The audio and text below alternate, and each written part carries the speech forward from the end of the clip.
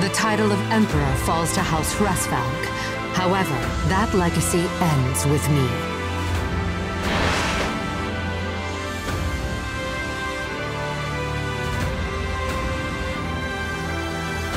Ha!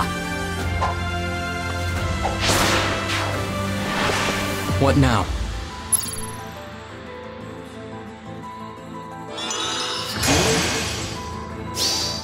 This battle is your last. Thanks.